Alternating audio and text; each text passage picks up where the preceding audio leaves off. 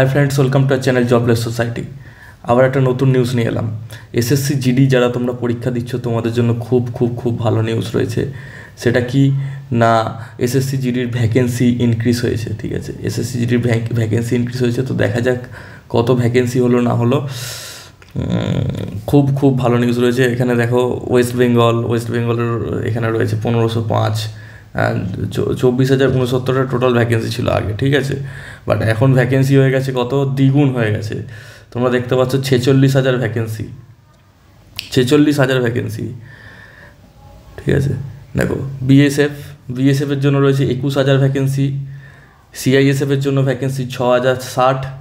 সিআরপিএফের জন্য ভ্যাকেন্সি এগারো হাজার একশো উনসত্তর অ্যান্ড এইভাবে দেখতে দেখতে আমরা দেখতে পাচ্ছি ছেচল্লিশ হাজার দুশো ষাট ভ্যাকেন্সি টোটাল টোটাল ছেষট্টি হাজার দুশো ষাট। আর এইখানে পার্ট ওয়ান আর পার্ট টু দুটো মিলিয়ে ছেচল্লিশ হাজার চারশো পঁয়ত্রিশটি ভ্যাকেন্সি ছেচল্লিশ হাজার চারশো পঁয়ত্রিশ। তোমরা যারা এসএসসি জিডি পরীক্ষা এখনও দিচ্ছ এবং যাদের পরীক্ষা এখনও বাকি আছে, খুব ভালো সুযোগ রয়েছে এইবার এই চাকরিটা নিয়ে নেওয়ার ছেচল্লিশ হাজার চারশো পঁয়ত্রিশটি ভ্যাকেন্সি ডিক্লেয়ার করল আজকে এসএসসির তরফ থেকে। Thank you very much for watching this video যদি কোনো কোয়ারি থাকে, তোমরা আমার ভিডিও নিচে কমেন্ট করতে ভুলো না। Thank you